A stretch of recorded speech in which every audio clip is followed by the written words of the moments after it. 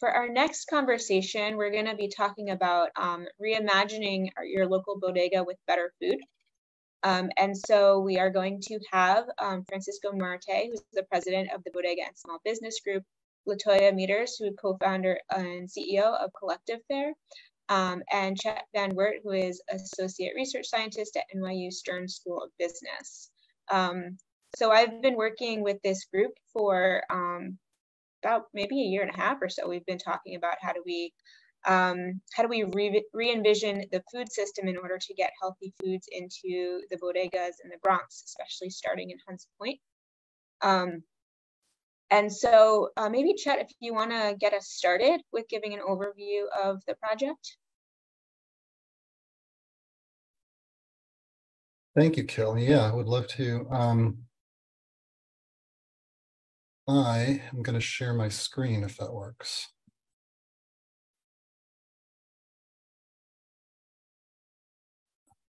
Let me see.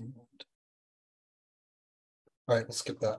Um, so I work for the Center for Sustainable Business at NYU. So I'm at the business school. Um, we may be, you know, the training school for all the bad guys, but um, there is a part of the school that is looking at how can we create a more equitable and sustainable and resilient economy in New York City. Um, one of the areas we looked at was food. Uh, and um, eventually we developed the project that Kelly is referring to, which is the Healthy Bodega project in um, Hunts Point. Um, the partners are my school, NYU Stern School of Business, the Stein NYU Steinhardt Food Studies Program, uh, the Bodega and Small Business Group that uh, Francisco Marte is the president of, uh, and Bronx Health Reach, um, and Kelly is our key contact there. Um, we are engaging with a lot of community-based organizations. We were in Hunts Point on Saturday for a back-to-school event hosted by the Hunts Point Alliance for Children. And um, if Dr. Carter's still on, I will just tell you, when we had the kids tasting a bunch of food that Latoya and Collective Fare um, had prepared, and there were a bunch of nine and 10 year old kids that were loving the mushroom hummus that that we were offering and i was blown away. So um, very happy to see that. Um, so in this project that I mentioned of looking at New York City's economy and how we could create a more sustainable and equitable economy, we said, you know, what's up with, you know, food deserts with areas of the city where there's really no fresh food available. Um, what's going on there? We looked at a whole history through the entire Bloomberg and de Blasio administrations where there are all kinds of initiatives to, to incentivize more supermarkets, for green carts, more produce stands for farmers markets. There's been a lot of effort. And over the last 20 years, and we say, well, why, you know, why is this this not not working? I'm not saying it doesn't work at all, but but wh- why is why are there still, you know, one and a half to two million New Yorkers who don't really have appropriate uh, uh, accessibility to healthy food? We ended up looking at bodegas. I was blown away to, to, learn that New York City, depending on how you define it, has somewhere between 10 and 14,000 bodegas. Many don't offer the fresh food that we need, but they are there. And so we said, what's, what's up with that? Um, and we found that there were a lot of programs, both in New York City, um, hosted by our friends at City Harvest, um, and elsewhere, um, Baltimore, Philadelphia, Washington, D.C., um, um, many other cities in the United States, then they've shown that if you put fresh produce and if you put healthy food in a bodega, people buy it. People like it. People change their diet. Um, the store owners like it. They feel better about their business. and yet, again, we don't see widespread lasting change. And we asked the question, why? And so we went through this process. We're, we're in a we're in an academic institution, so we started off by doing a literature review. We looked at everything that's been published about healthy food in small corner stores. Then we did a bunch of our own research. We talked to participants um, across the country in corner store, healthy corner store projects. Um, we we um, we did a working group over a six month period that Kelly was a part of, um, with public sector people, lots of people from the administration, um, nonprofits, businesses, academics, um, and then we started, you know, zeroing in on a solution. The solution was there, there, there isn't a healthy food distribution channel that works for bodegas. It's that simple. Why not? Well, we looked at it. Um, and we began for, forging a partnership to try to address this. And this is the NYU Bodega and Small Business Group and Bronx Health Reach partnership. We're in the process right now of looking for funding. We're waiting for uh, feedback on some grant applications. We're looking for more um, funding sources. Um, but this is basically our view of the, the, the problem and the issue in the, in the food system is there's a missing link. The entire food system in the United States chases big bucks. They're chasing Costco, larger and larger supermarkets, Walmart. They're all after that, those big, big um, food retailers, the kind of food retailers that are never going to end up in the Bronx. They're just not. They don't work there. Um, and so the answer that you hear when you ask what's going on is, well, we can't afford to deliver to a bodega that's going to order $100 worth of stuff today. It's too, you know, can't make that work. And, you know, so then you go, oh, well, that makes sense. But here's the problem. Here's the, here's the insight.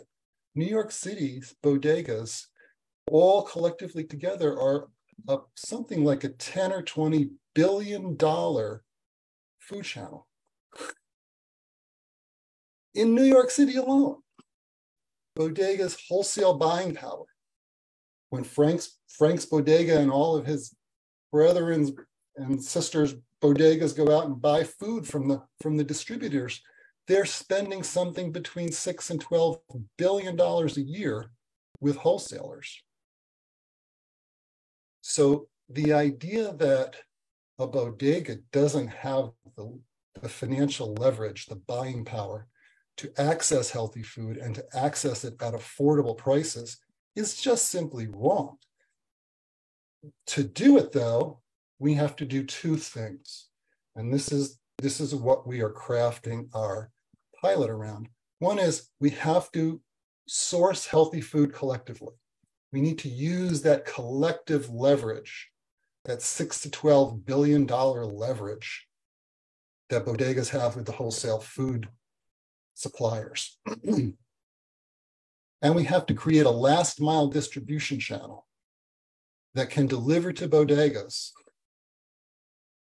multiple times a week, lots of small orders, very nimbly, and do it in an affordable way that allows us to get fresh and healthy food into the store on the corner that people go into every day and get it to them at competitive, affordable prices. We believe it's possible. I've talked with um, companies that do food distribution, produce distribution. I've talked with a very cool operation in Kansas City about how many deliveries can you do a day? What does it cost? You know, how long does it take to, to stop, do a delivery to a store, do the in-store merchandising and so on? we're looking at all of these little pieces of how to make this work, and we're convinced we can do it. so my last slide is this, which is, this is what we're working on right now. We've chosen Hunts Point. The, the way this has to work is to do it in a, in a contained area. We want to not spend a lot of energy and money driving all over the city at this point. We're going to do it in one neighborhood.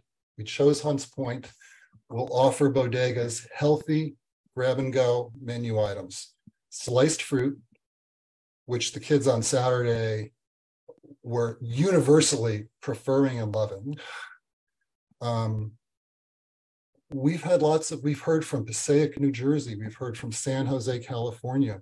Um, we've heard from New York City and the Bronx, um, another initiative that Bronx Health Reach was involved in. Children will come in after school and they will buy sliced fruit instead of potato chips.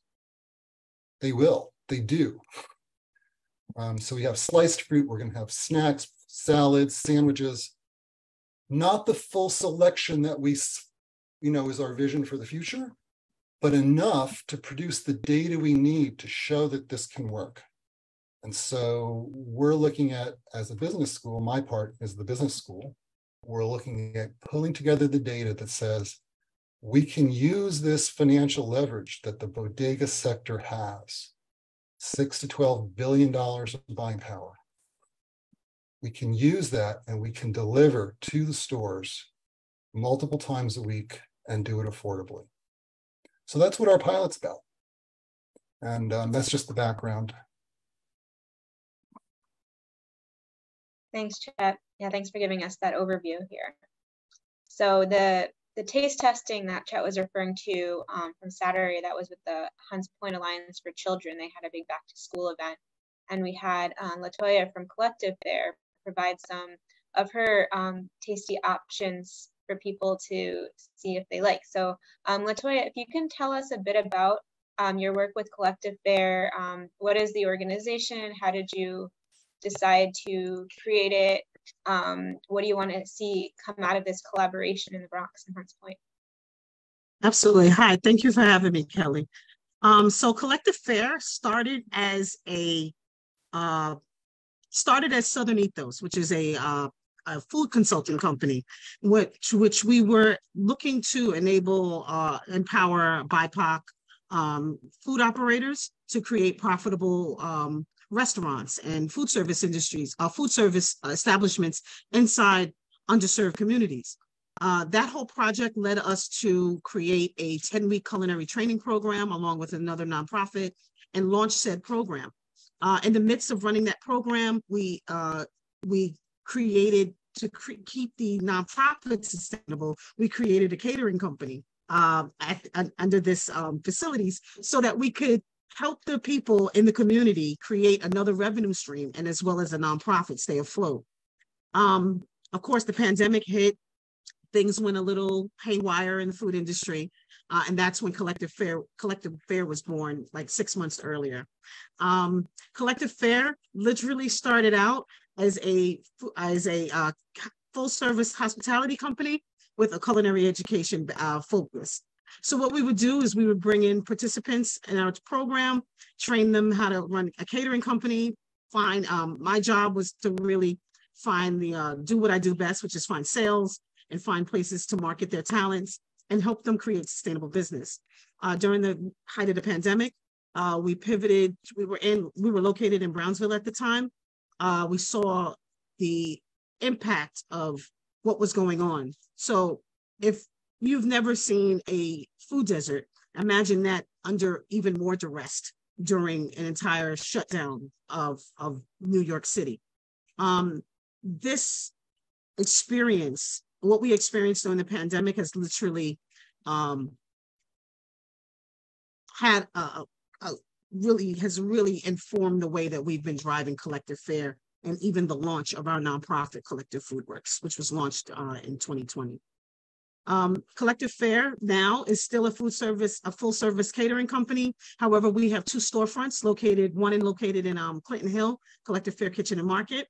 Um, and then we also have another one located in Cypress Hills um, called uh, Collective Fare Cantina, which is uh, built inside of an affordable housing development, uh, which we made recommendations to show how do we how we can create uh, a sustainable um, farm to table um, uh, market inside. I'm, I'm sorry, farm to table um, sort of system inside of affordable housing development. So they have a rooftop farm, they have an incubator kitchen, entrepreneur space, and then there's the cafe that is operated by Collective Fare. Why do I do what I do?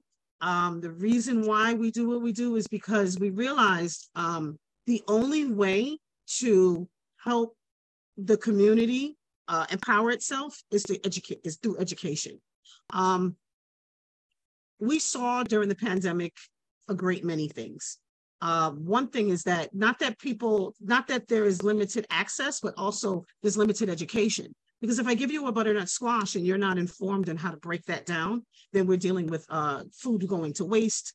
If you're not understanding how to cook or prepare it so that it's delicious and tasty, now we have um, a different, a different idea about how that, what that food should taste like. Um, we focus on how do we create mindset changes as well as um, having people understand that cooking techniques make the difference on how you would enjoy, like a uh, Chet said, uh, the oyster mushroom hummus versus a regular old regular chickpea hummus, which most most people are accustomed to having. We also focus on on um, culturally relevant food. Um, we realize that when you are in smaller in, in communities, um, it's one thing for like a bodega to have uh, the food items. Well, let me let me let me put it this way. Um, you start to see changes in communities once communities start to become gentrified. But how do we create those changes immediately? How do we begin to build better foodways for our community members so that they're making healthy choices? And I feel that bodegas are the are the best business platforms in our communities to create that change.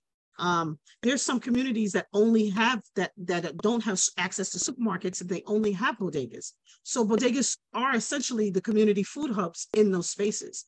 Um, I know that the Bodega Association, they're working on a great many projects and um, they are very adamant at creating this these safe spaces for people to be able to come and purchase healthy food and empower our bodega owners to be able to offer healthy food.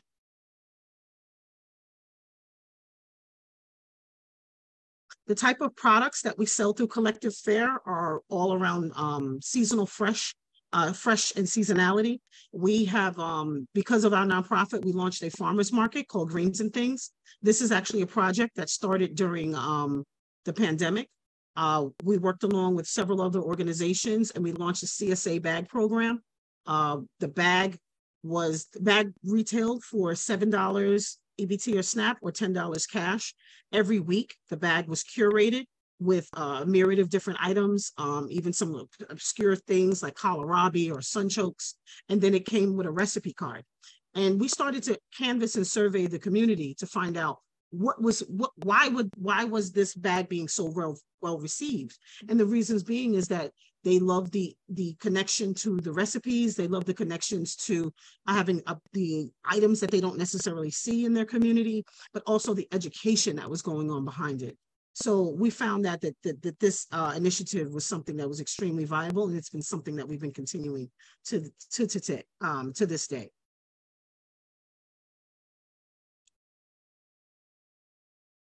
Thanks, Latoya. Did you have anything um, else you were going to share?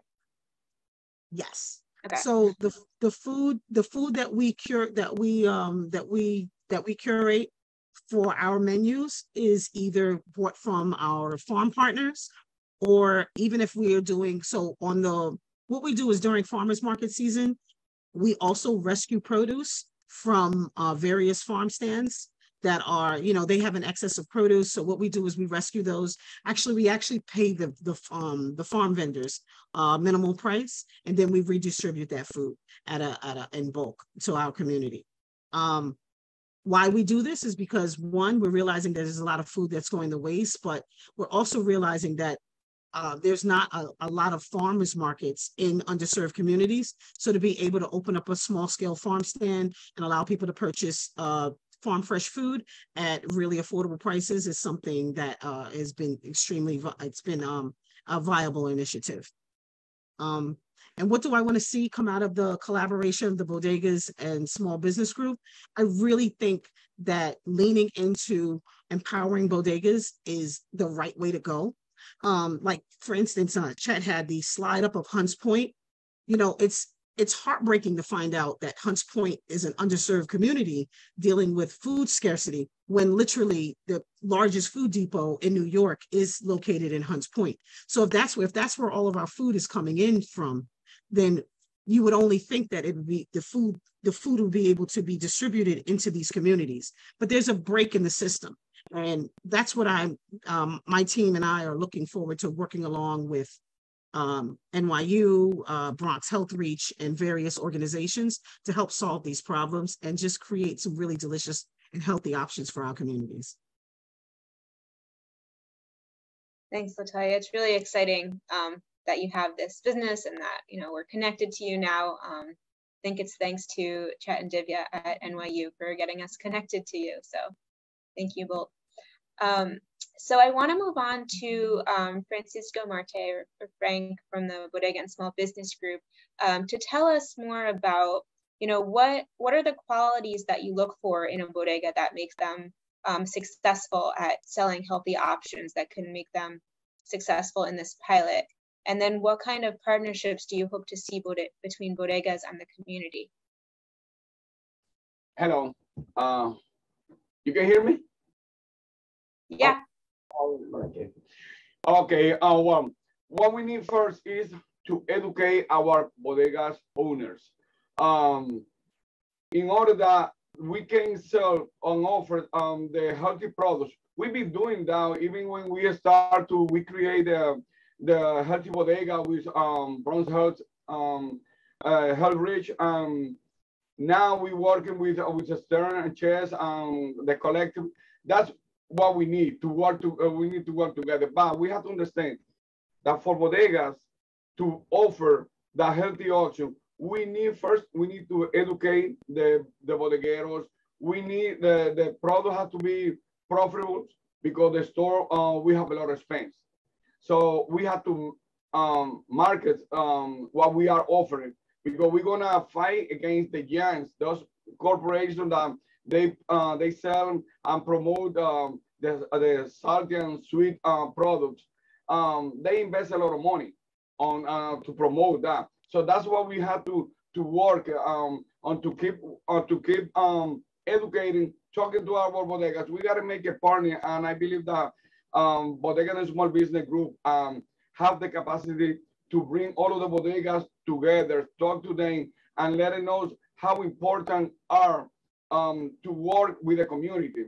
I don't want uh, to leave the bodegas out or blame the bodegas sometimes like uh, the, we are the, the store that we are selling the junk food. No, we just are a business that we be offering the most popular stuff, but we want to work to offer the healthy uh, option because we know the problems that we be having, especially in the Bronx with uh, with a high blood pressure, diabetes, obesity, and we want to work we want to work um, um, together and educate, but we need to have the facility how to make all of those um, options that can be profitable for the store. We need to go to the store to talk to to see how we can promote it, putting on the on the place, uh, how we can offer to the to the customer, make it more easy to the customer, or even to approach. I have a, a good experience on this. Um, when we started the, healthy programs, I had a customer that he always go to the store to buy bacon, egg, and cheese, which is a delicious sandwich, but it's not healthy.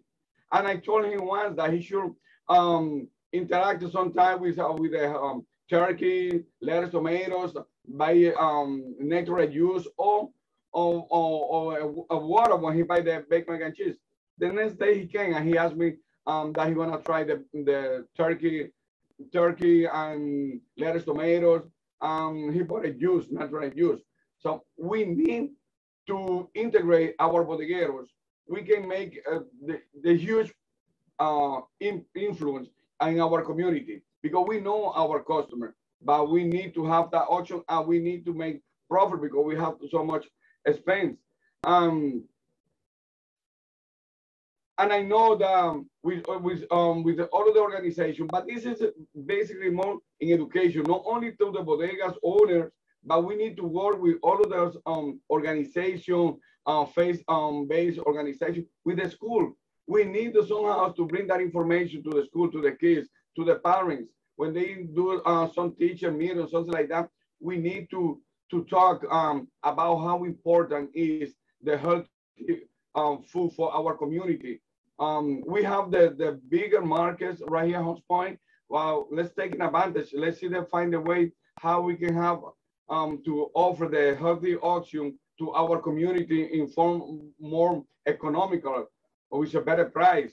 Um, we need some maybe uh, some coupons for the community so that they can be used at the bodega. So the bodega can use and uh, can sell them the the products, uh, the healthy products, and the the community can use those coupons that they use sometimes on the farming, But the farmer is only open one days a week, and sometimes they are far from the from the main community. So we need some type of those programs to come to the store also that we be able to accept those coupons and offer um, the community um, those products. We, the bodegas, are the best place to make this to uh, to work and to have a better food for our community, to help to teach our community how they can eat. It's not easy to change the habit of the people eating what they eat, but together, all of talking about the importance of being healthy, we can help. So we here at the Bodega the Small Business Group, we here to to do whatever we have to do to help our community. We are within the community and we want to be part um, integrate of the our community in helping um, for for the community to have a better health.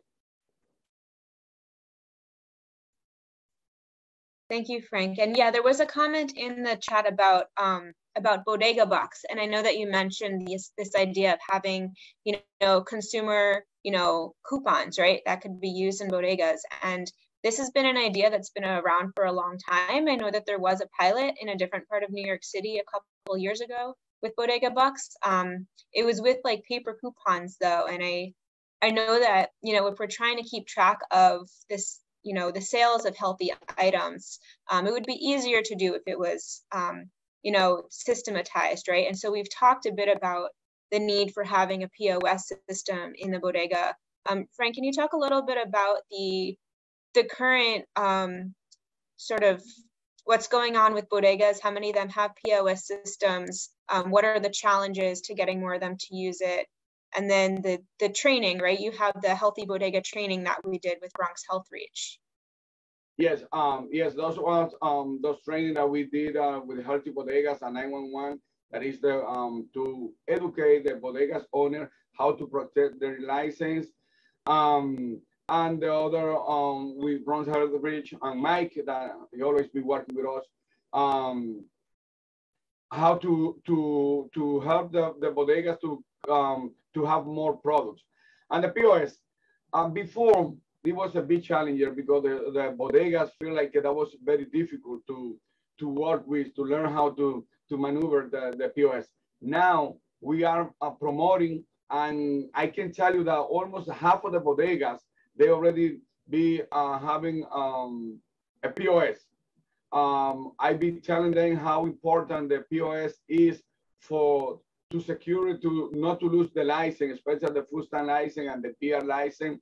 And the people are understanding that we have to move forward with the technologies. So now it's more easy. That's why I'm asking for if we can bring that program to work with the bodegas because um, a lot of bodegas, they already has a POS and almost all of the bodegueros, they are willing to, to get in, even, and we are doing it, uh, the Bodega and Small Business Group, we are installing and offer them a free uh, POS um, to the bodegas, to the bodegueros, so they can understand they can be more organized, like a step up for the bodegueros to be more organized and to work um, and offer any programs that have to be maneuvered through the POS system. So we're ready and we're working in that. Yeah, yeah, it's definitely an important um, important project. Um, Chet and Latoya, do either of you have comments on sort of the, the logistics needed from a from a business perspective in these stores in order for the stores to be able to accept coupons if we were to get a program like that up and running? Um, actually, yeah, I think sort of leaning into into technology, I think would would be very useful. Um, yes, we understand that there are members in our community that, that don't, that have limited access to, um, limited access to technology. However, having a kiosk located inside of, you know, our small scale tablet located inside of our bodegas would help them uh, get, uh, help them overcome any um, learning curve to use either a bodega health buck or it could be a membership card or any other thing that someone could um could could utilize. Um, to Mike's point, yes, the, the being that bodegas are um, very uh, community centered, people are very trusting of them. So you're able to uh, you're able to to really uh, work on a myriad of different solutions for communities um, inside of the bodegas, as far as being able having them be able to access um, additional resource, uh, additional like um, like you were saying, the bodega health bucks or health bucks in general, or EBT and SNAP, or anything that they would need. Thanks. I want to thank LaToya for what she's doing is because that's what we need. Someone that believe and that, that um, uh, and create some products to offering in our store. And that's something that um, I hope that we can develop and we can get more people like LaToya, um, bringing more healthy products. And we can work together and offer to our community. And little by little, teach them how important it is um, to be healthy. Thank you, LaToya.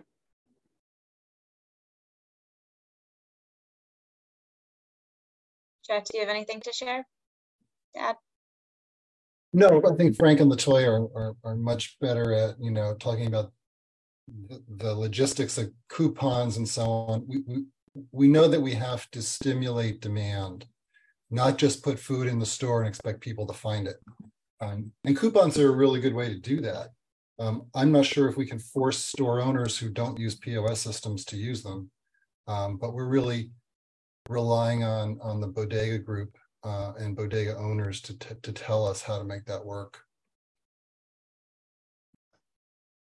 Um, Chet, I know if we can get those programs, I will do the I will do the work how to convince and to show them and educate them how to use uh, the, the POS and how convenient is for for the for them to use a POS.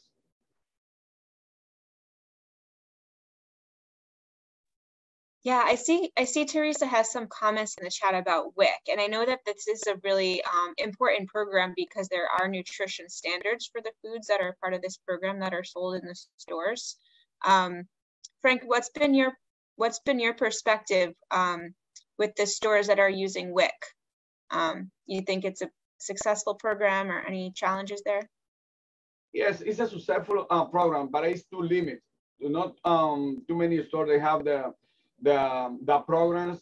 And beside that, um, they use some trick to to find the store uh, who has the, the license. So many stores, even uh, small bodega, they have turned back the, the license. But now with the with the system, they are now applying again for that. It's a nice and good uh, program uh, because um, it provides our customers, they don't have to go too far. But um, we need um, we need more store to apply for the programs and now with the POS. So in that way we cannot get those hefty fines that sometimes the store for any mistake that they make, they gotta pay 20, 30, 50,000. Know, I know people that has paid $50,000 in fines. So they abuse um, the system abuse on time. Uh, that was at one point we told that, that there was some plans that the big box store were having and the way so the bodegas could lose all their license because that was a trick that the, the, the inspector was using. So in order um, they can be just using the big box store. So now with with the POS and education that we are um, giving to the store owner and telling them through the system is more easy uh, because you just qualify whatever is the barcode say. So that's a nice program. Yeah, the WIC is a nice program. We just need to to work more together with them, with the agency, as well as with the food stand also. We need to educate the, the bodegas owner and tell them what they exactly, how they exactly have to work with the program because that's what sometimes happens. They don't give you a training. They send you a lot of bunch of paper on email, which most of the time we don't read it. So we need to to give training, and that's why we are trying to to get to bring more training for the bodegas owner. Right. Yeah. No, Oh, go ahead, Teresa. Sorry. Thank you. Um, I'm just curious um, whether Francisco, if you're finding it easier, I know WIC has a lot of regulations and it's and it is really hard. Um, and hopefully the bodegas um, benefited when the food package changed in 2010. And hopefully within the next year or so, it'll change again to have more and more healthy foods. But since we have EWIC cards and since we have an app, which I didn't mention, I was just rushing through getting information, but we also have a WIC to go app so the participant could take their phone and scan a food item and find out if it's a WIC eligible food item. Do you find that it's easier and maybe less penalties now? I'm hoping you do. Yes, yes, yes. It's less penalty because, like I told you, some bodega they just turn back the, the license, and now the, the one that, that still has it or they have applied for, they go through the POS system now, and that's what we call that we call it for more uh, educate. We need to educate our bodegueros because for you to have a bodegas, what you need to have, a, um, you, have, you need to have some monies or to have credit or get a space, apply for that, but you don't need to be educated. But we really need to educate them in order for them to save and not to work with the different programs. Now we are losing it, and they, those programs they just be going to those big box store, which they don't service the community because they are not there when the community need it. When you are in emergency, you can run inside the bodegas and you be safe. Or you can go and ask for the bodeguero to give you something on credit until you get paid, and the bodega will do it. Those big bank store, they don't do that. So they don't really serve the community. We serve the community because we help the community.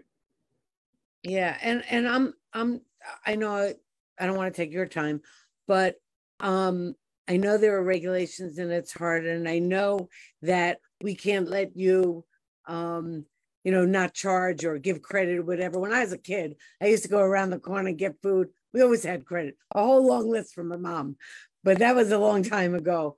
But I am hoping, I just think it's such a good marriage. Um, at least the bodega, if you're doing the bodega project and doing a healthy shopping, shop healthy NYC or whatever, if we already, if you take at least some of the WIC contracted bodegas because we focus on healthy foods. And then we're sending people your way to want to buy these healthy foods because they get it for free from WIC. You know, it, it's it's different than like years ago. We wanted you to have whole grains and whole grain breads and to, and it never left the shelf. Low fat milk, no one bought it, but now they have to. You know, so I I would like you know, Kelly, I could have a further conversation with you. We could find out which stores. I just think it's a good marriage, even if it's not only with contracted stores. But I think it's a, I just think it's a great start. Teresa, I you can, uh, you can help us to keep doing this more program and educate small business owners because um, we need that. Uh, we need our store in the the the, uh, the corner store, our convenience store we need to be there to help the community. Remember that during the pandemic, when the whole city shut down, we stayed offering helping our community. And we deserve to help our bodegueros educate. That's what we need. Educate the, the bodegueros. If we educate them, they will know then how to really use those um uh, permit or those license that they use it. Those. You know the the um, beauty of I'm sorry, LaToya. No, Chet. Go ahead. I was just going to say, you know, the beauty of creating a, a, healthy food distribution channel through bodegas is bodeg- bodegueros are are people from the neighborhood. Um, you know, as they succeed there, you know, the the um, the profits, the wealth that's generated remains in the neighborhood and gets recycled into jobs, into into into successful business people there. It's not getting sent to to Walmart headquarters in, in Arkansas, you know. And so that's a beauty of the bodegueros. And that at the same time, we have to remember, you know, these are entrepreneurs, you know, where, you know, dad works from 8 a.m. to 8 p.m. and then his son works from 8 p.m. to 8 a.m. And they don't have, you know, they should follow the regulations there, you know, but but there is often a, a very um, antagonistic relationship with regulators who come into the stores. It's not a helpful relationship, it's more of an antagonistic relationship. And um, that's something that needs to be fixed. Yeah. I, oh, go ahead, LaToya. Did you want to go first? I was going to say that to talk about what what Teresa's as far as WIC. Um, I think one of the biggest issues we have with bodegas is purchasing power, right? Because if, as per the WIC program, one knowing what exactly what is allowed for bodegas to purchase and then looking at those items that are traditionally going to big box stores how do bodegas create a, a, better purchasing power so they can get the you know the those same items that are usually very uh, much more expensive? How do they get those at, a, at uh, you know affordable affordable prices? I think it's important for bodegas to be able to stock these things in their shelves. However they if if they can't because of their being priced out how do we begin to make a structure that allows for the bodegas to be able to stock these items so that they can fulfill um, so that you know a young mom could have you know wic wic enabled items right in right around the corner from her rather than going to a big box store or a supermarket in the neighborhood. No i agree. Uh, you know you guys could call me i could hook you up with our the uh, vendor management organization. I know it's hard because believe me i'm under I'm under them too. They come investigate me too.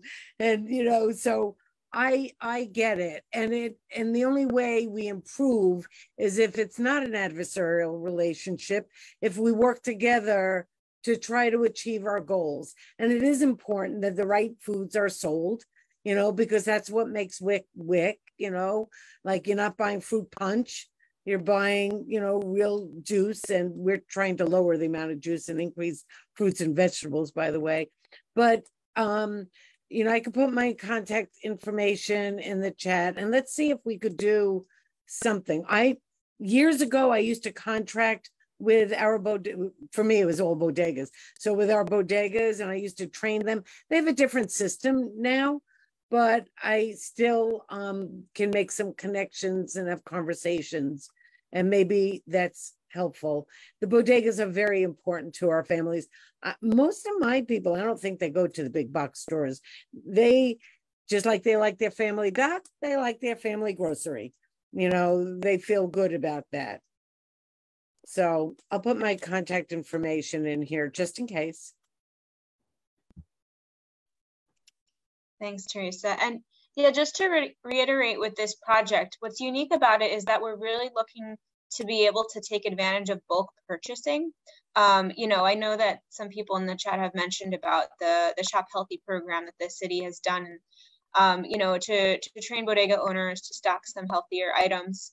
Um, but without actually looking at the supply chain, we're not making it so that the bodegas can be um, competitive in the same ways um, as the big box stores. So, you know, by doing the bulk purchasing, um, we'll be able to make those prices more affordable so that the stores can stock them on a more regular basis and and find the right price point. Kelly, um, what they do yeah. in WIC though is they have groupings, so they don't compare the prices of a bodega to Walmart. They compare, um, they do price groupings, so they're comparing it to bodegas. Um, they do have a, a system to do that, you know, but there's always better ways to do it. You're talking about for the WIC purchases? For WIC, or? for WIC purchasing. Hmm. Okay. Yeah, we're just talking about for like healthy general. foods in general. Yeah. Um, yeah.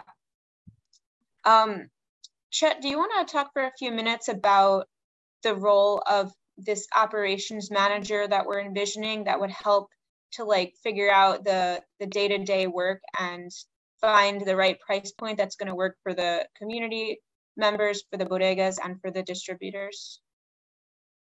Sure.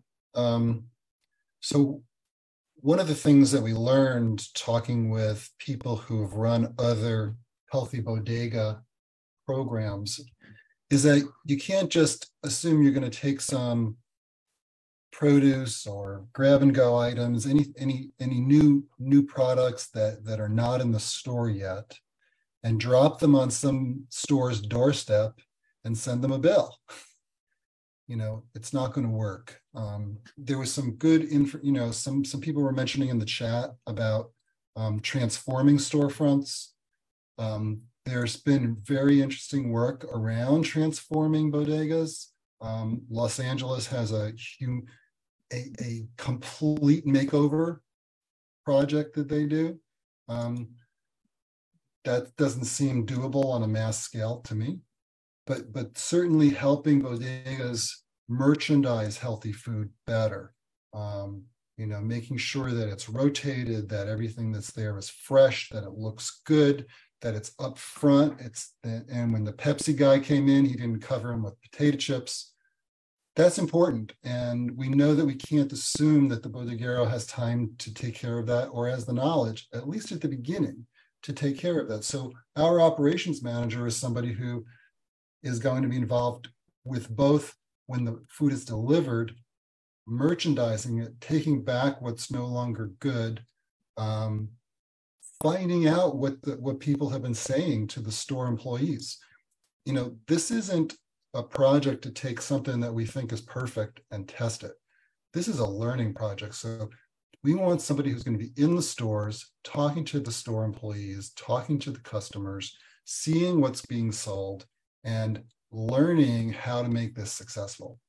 Um, so the operations manager, which is what um, what we're calling this role, is uh, uh, you know somebody who's going to get down in the in the nitty gritty and the weeds and really understand um, what does it take to make this work? What do people how do people respond? What do they respond to? What are they asking for? What are they asking not to have?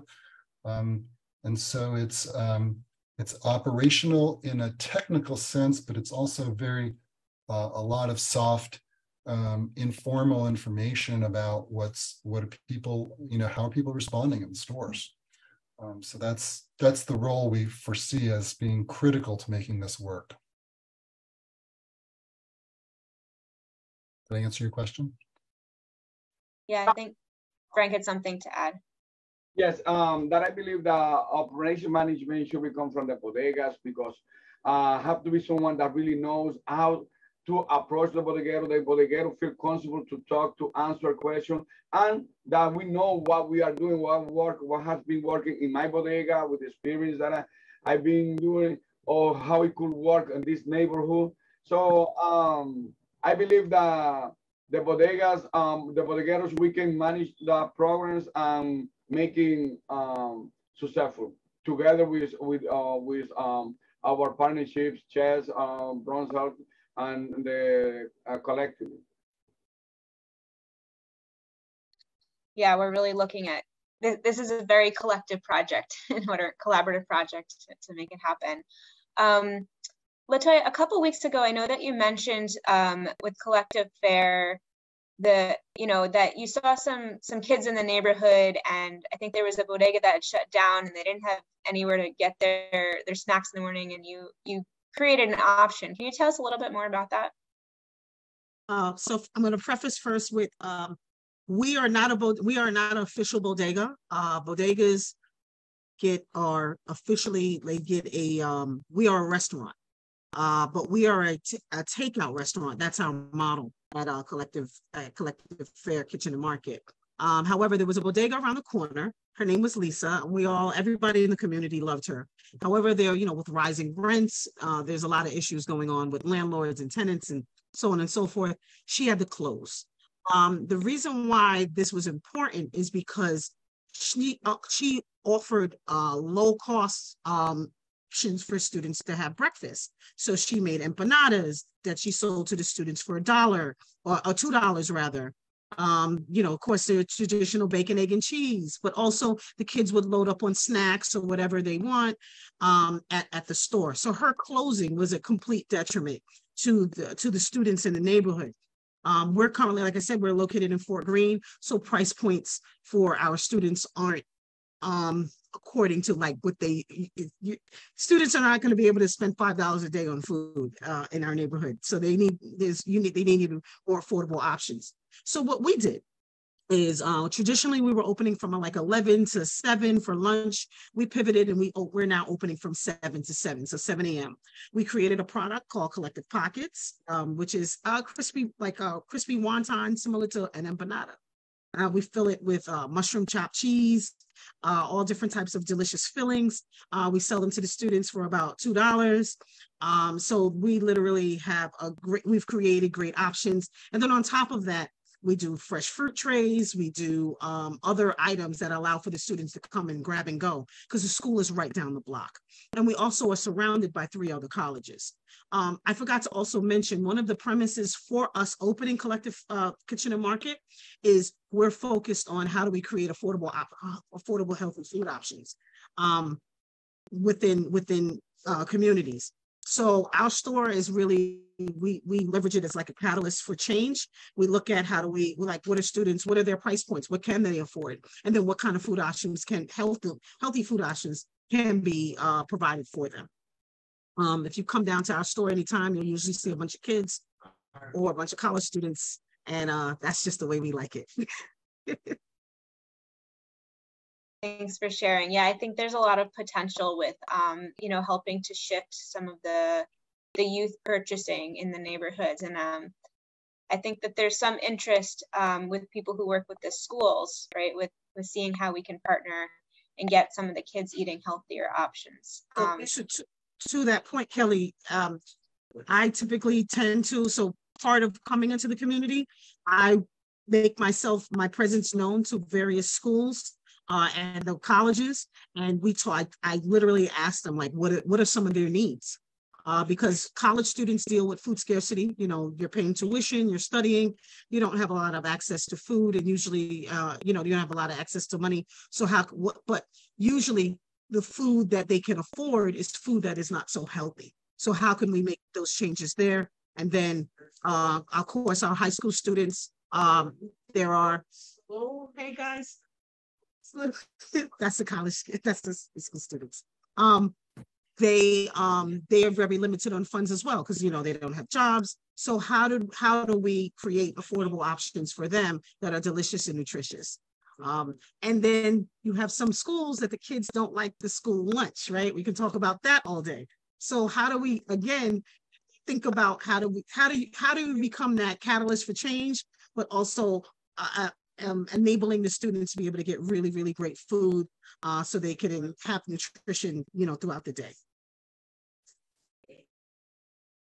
Yeah, we had a um, curriculum a couple years ago as part of the campaign that Bronx Health Reach and other groups in the Bronx were involved in called Don't Stress, Eat Fresh. And we had a curriculum um, that uh, one of our partners, um, and I think we, we, might have had some interns um, going and teaching the kids in the school um, you know, usually in after school programs, right? To, to think about how they can ask for healthier foods from their local bodegas. So it's something I think we can um, consider, you know, for the future for this new pilot um, as we look to find the, you know, the, the sweet spot between what the customer wants, the bodegas are able to sell, and what the distributors are able to provide. Um, and so I do just want to put it out there for anyone um, listening that we are looking to identify specific bodegas in Hunts Point um, to participate in this pilot, um, or that we, you know, bodega and small business group can go to and, you know, identify if, if they would be a good candidate. Um, but we want these these options to come from the community, you know, because we want to build it up from the community demand side.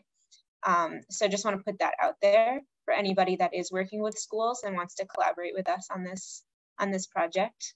Um, and so I, guess if, if people want to start putting any additional questions in the chat, um, we do have some time for, for more questions.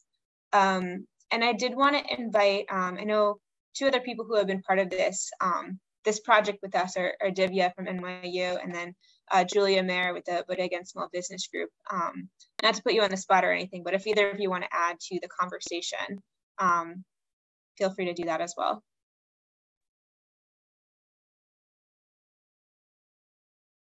Thanks, Kelly. Happy to uh, wait for, for questions and uh, hear the rest of the room. Yeah, and I, I just want to thank everyone for, for their very thoughtful comments. Uh, we would definitely like to pursue working with all of you in, in the future in more detail. Um, I, I just want to also say that the Bodega and Small Business Group, we started working with Bronx Health Reach several years ago when they got their first REACH grant. And, and we were very fortunate that uh, Bronx Health Reach was open to us because we came in and said, we want to try a different idea for working with bodegas. We want bodegas, bodegas want to be part of the solution, actually, to, to paraphrase what um, Vanessa Gibson said earlier, we don't want to leave our children and our elderly and our communities behind. Uh, we want to find a way to move forward. And um, Bronx Health Reach was uh, willing to work with us to, to help to let us create a business focused training for the bodegas that was culturally, linguistically, and operationally tied to their day to day operations. And so when Frank is talking about that training, uh, we have two trainings. One is Healthy Bodega, which covers everything from how to sell healthy options to the regulatory issues and how to avoid fines. And we also run a, a training called Bodega 911, which is basically focused on EWIC and SNAP, which again focuses not only how to sell effectively, but also how to do that at a reasonable price point, how to merchandise, and also how to deal with the regulations that threaten the bodegas. So I, I want to just mention that because it is very, very important that um, the training that we're working with has been developed by bodegas in association with health organizations. And we would like to expand that and work with many more people um, to, to help to train the bodegas. So, so that's one point. And then the second point that we talk about all the time is how do we really reach children? Um, as Frank and as many people have mentioned, you have Coca-Cola, uh, I probably shouldn't say the names of the various evil empire um, groups, but we have many large marketing organizations that promote heavily um, a, a variety of products that are not good for our kids. And yet at the same time, it is a real challenge to attract children, to get children involved and engaged, and to see that that you know healthy products can be cool. Uh, they can make you strong. They can let you play soccer. They can let you be a dancer. Um, there are many things that can we can do. So so again, we want to stress the future, not just working with parents, but really how do we appeal to children uh, as we move forward in Hunts Point and with bodegas across the city and with other organizations. So thank you. Thanks, Julia. And there was a question earlier in the chat about the licenses. What is the cost of the licenses? I know that's a big, um, you know, challenge sometimes for the bodegas that have all these licensing fees, and that's what the bodega training is supposed to help to address. Uh, there are three bodega licenses that the stores have to have, ag and markets, their um, uh, C20 license. Those are not especially expensive licenses. What, what we find is the issue is that, again, the training is not operationally targeted towards the bodegas. Again, there's a disconnect. The information is critical and essential because bodegas get fined severely if they don't follow and meet those regulations. However, the gap is, even though there are great websites in Spanish, the gap is the training has to be done from the bottom up as well as from the top down so that um, the store owners understand the, the very minute details of how to be successful in dealing with the, with the licenses and fulfilling the obligations of the licenses. Uh, we had proposed at one point uh, another license, which is kind of a political hot button, but that license would uh, be a bodega license that did not have uh, consequences for losing your license. But, but in order to have the license, you had to take training that really in depth helped bodegas understand how all the licenses work together, how to work with those regulations and how to be more successful, as well as to sell healthy options. And that, that license would be very inexpensive. Uh, again, I, it's not an exact price point, but let's say $250. Uh, but what's most important about that license would be that working with the major agencies, we would forgive the first fine. Um, uh, so that the price equaled out. And then you would have to take those some kind of remedial training to make sure you understood the principle, as long as the fine was not a felony. If it was a, an error, a problem, a, mistake, and not understanding what you needed to do properly. So um, I, I, hope that answers your question. But in general, the licenses are required. There are three mandatory licenses. They're not expensive, but they're not integrated across day-to-day -day bodega operations. And that's what uh, Bodega and Small Business Group, that's what our training attempts to do. And again, we welcome working with these larger organizations to, in, to, to be able to deliver our training and to be able to work with the organizations to adapt their training for bodegas as well. Thanks, Julia.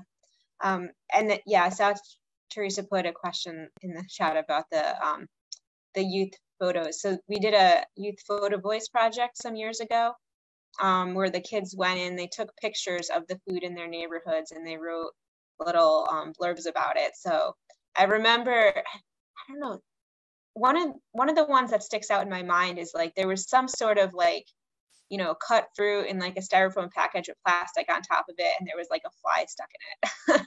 So that was like that was one of the ones that i remember but um, i don't i don't remember what particular type of uh, food retail outlet that was but um, yeah there's there's a lot to there's a lot to do. There's a lot of creative ideas out there in terms of um, you know getting youth involved. There was that youth photo voice project um, social marketing campaigns. I know um, there was some bodega work involved with um, this project we did a couple years ago on on youth food counter marketing, um, mm-hmm. and we had the Center for Urban Pedagogy um, partner with the kids um, at CMSP 327 over a summer. It was a um, new settlement apartment school, and they um, they had them go and they, you know, it, they they did some really creative things with, you know, making the um, the contrast between the, the healthy and, and the unhealthy foods available um, in the stores to make the point. So, you know, it's just about getting kids involved, but they can be really creative, um, you know, once we frame the issues to them. Um, let's see what else. Anyone else have any questions? We have a couple more minutes here. Any other questions or comments about Healthy Bodega Initiative?